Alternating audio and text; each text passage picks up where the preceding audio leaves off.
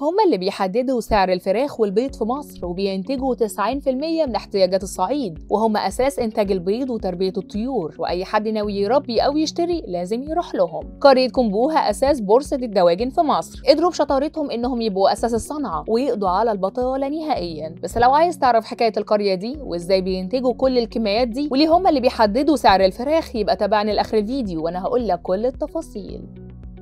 القرية اللي بنتكلم عنها النهاردة اسمها كومبوها في محافظة أسيوط. أشهر قرية في تربية الطيور وإنتاج البيض. علشان كده معظم سكانها ما عندهمش وقت إنهم يقعدوا أو يضيعوا وقت في التسلية أو القهاوي. الكل بيشتغل سواء رجالة أو ستات. القرية دي فيها أكتر من 100 معمل تفريخ للكتاكيت و100 مزرعة طيور من دواجن وبط ووز وديك رومي لحد ما قدرت تنتج 90% من احتياجات الثروة الداكنة للصعيد. وكل ده في قرية كومبوها اللي عدد سكانها وصل لحوالي 10000 نسمة معروفين بإبداع إبداعهم وإتقانهم لشغلهم وسمعتهم الطيبة. وحسب مجدي جليات صاحب مزرعة من أكبر مزارع الدواجن في القرية لموقع أخبار اليوم. قال إحنا بنسابق الزمن لتزويد الإنتاج وتوفير أكبر كم من الدواجن لتخفيض الأسعار من خلال زيادة المعروض لتخفيف العبء عن الدولة. مجدي قال إنهم بيحددوا أسعار البيض والفراخ على مستوى الجمهورية وإن القرية بتساهم في إنتاج 90% من احتياجات المراكز اللي حواليهم من الثروة الداكنة. وبسبب وجود مزارع كتير في القرية فهم قدروا يوفروا فرص عمل كتير لدرجة إن في طلبة بعد ما بتخلص اليوم الدراسي بيخرجوا يشتغلوا في المزارع علشان كده مفيش بطالة في القرية نهائيا. أما نجاح صادق صاحب مزرعة قال إن المزارع الكبيرة بتحتاج من 6 ل 10 أفراد لتربية الدواجن لتوزيع أكلها وشربها وتدفئتها خصوصا في الشتاء. ده غير إن في عمال تانية شغلهم إنهم يسوقوا عربيات النص نقل الصغيرة علشان ينقلوا الأقفاص اللي فيها الكتاكيت وصغار البط لبيعها في جميع أنحاء الجمهورية وخصوصا في الأسواق الريفية لمربيين الطيور في البيت. بس قال إن المشكلة اللي بتواجههم هي ارتفاع أسعار الأعلاف